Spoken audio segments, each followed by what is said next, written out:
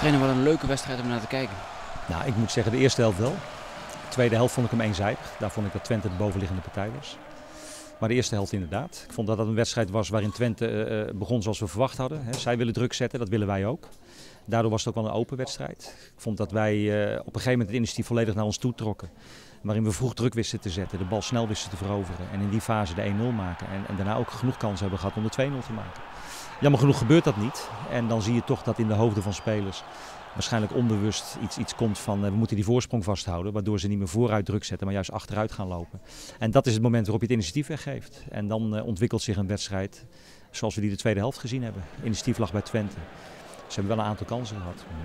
Niet, niet, niet uh, overdreven veel, maar wel een aantal kansen gehad. En dat kwam omdat we het initiatief weggaven. Piet, voor het eerst dit seizoen de nul. Ja, is heilig voor een keeper. Hè. Ik heb er twee keer dichtbij gezeten. Vorige, keer, vorige week ging hij naar 80 minuten erin. En tegen Heracles thuis in de, in de 91ste minuut. Dat is zuur voor een keeper. Maar ja, we weten wat we kunnen. En vorig jaar hebben we 13 keer. Dus we hebben een streven om meer te halen. En uh, we zijn er al hard op aan het trainen. En uh, je ziet, trainen kost tijd. Maar we hebben gelukkig de eerste nul te pakken. Mike, gefeliciteerd. Hoe is het om matchwinner te zijn? Uh, ja, ik heb eindelijk gescoord. En we hebben de drie punten gepakt van Twente. Zo ja, dat is al goed voor Vitesse, denk ik. Ja, uh, veel gezegd over Twente de laatste twee weken. Twee goede overwinningen behaald. Wat vond je van ze? Uh, ja, het is een hele sterke ploeg, ploeg denk ik. En uh, ze waren in vorm. Maar ja, we waren beter als een groep vandaag, denk ik. En ja, wat een goede uitslag. Gedurende die tweede helft, als je langs de kant zit en je ziet dat Twente de overhand heeft... en dat Vitesse vooral achteruit loopt... hoe probeer je dat dan toch om te zetten? Nou ja, je bent met elkaar aan het analyseren van waar komt dat door? Waar ligt dat aan? Is dat iets wat wij kunnen repareren? Is het zo dat je een speler voor een speler kan inwisselen? Of moet je misschien op een andere manier gaan spelen? Dat is waar je constant naar aan het kijken bent. Het was vandaag echt een uh, teamprestatie vond ik. Met z'n allen keihard gewerkt en uh, ja, een prachtige overwinning.